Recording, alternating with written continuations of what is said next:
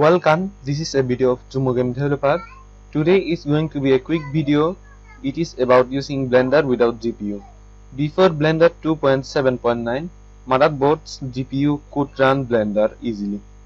But since Blender 2.8, a separate GPU started to be required to run Blender. Peoples like me doesn't have GPU but interested to use Blender are sad boy since it. Now you don't need to be a sad boy like me. A DLL can help you on it. I am showing you how to run Blender without GPU on this video. If you are here to learn uh, the installation, this is not a video for you. There are a lot tutorials on installing Blender on YouTube. Watch them, links are in description to them. I am just going to help GPU-less people today from next time on I'll upload blender tutorials too on this channel because blender helps on game development too. And game development is the main topic of this channel. If you don't have GPU after installing blender you you are very excited to open and see how blender 20 is and it will show you a message like this it says you don't have support of graphics card with OpenGL 3.3 or higher and so it can't run. Because God, I mean Blender requires the OpenGL 3.3 and you don't have it. So if you uh, I mean I'm also like that so it is not opening.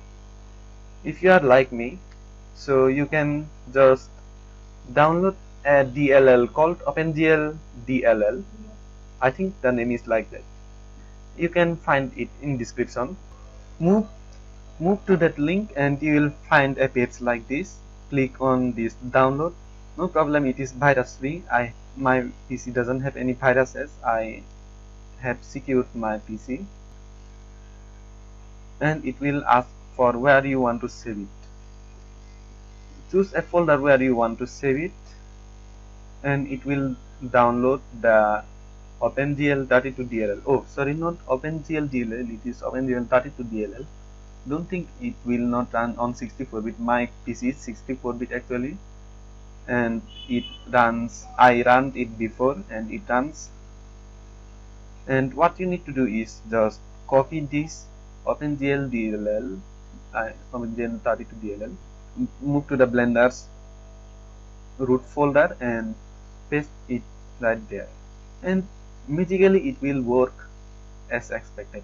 Uh, I had copied and pasted and now I am going to run it. I, I had started the running. It will come I am sure actually. Now you can see it has just opened. And the only problem is it will lag like this. You can see how much it is lag I think you should use a graphics card because without a graphics card your PC will lag a lot. You can see how much it is lagging. Now from next time I will upload blender tutorials on this channel because blender helps on some ways in game development especially in making 3d models. I love blender because it's open source too like Godot. If you don't know what is blender it is actually an open source graphics arting programming uh, sorry program that is free and open source as I said before. I will show you how to move the view of what you can see on blender and things like that. So stay waiting for blender tutorials my next blender tutorials. I will upload them. I always upload weekly videos. I mean after every week I make a new video on tutorials. So that's all what I need to show you guys today with the DLL you can run the blender and also some other programs too. So okay. Wait I forgot to say that you had a small GPU attached to your motherboard which runs many things of your Windows 7 or Windows 10 it may help on the DLL that we had downloaded and used on Blender too but it doesn't help on everything. But what does the DLL do? Well I'm not sure. I think it makes the CPU work like a GPU the small GPU we just have talked about helps on it too I think. Whatever. I'll upload blender tutorials too from next time. Subscribing me would make you get the tutorials easily so whatever. We'll meet on next time on the next video. Until that stay safe stay healthy happy game developing. Bye